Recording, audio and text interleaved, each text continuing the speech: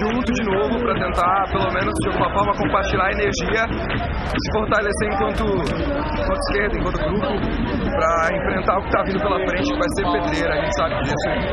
Mas eu, como militante negro, como artista, já sei que a rua é nossa faz muito tempo, fui forçado a estar na rua faz muito tempo, de alguma forma, pela primeira vez eu sinto que agora todo mundo sabe que a única forma de se proteger é estando junto na rua. Então daqui pra frente é luta pra caralho, a gente não vai desistir. E como preto, como artista, como representante de uma classe bem específica, eu digo que a gente resiste. Desde sempre resistimos, há 500 anos resistimos e vamos continuar resistindo daqui pra frente.